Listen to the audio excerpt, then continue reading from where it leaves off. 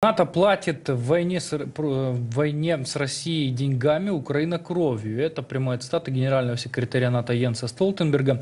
На пресс-конференции перед встречей глав Министерства иностранных дел Североатлантического альянса в Бухаресте он подчеркнул, что если НАТО позволит Путину победить, то весь мир заплатит гораздо более высокую цену, чем платит сейчас. Если Путин, другие авторитарные лидеры увидят, что сила, собственно, окупается, они снова используют ее для достижения своих целей, это сделает мир более опасным. Далее цитата.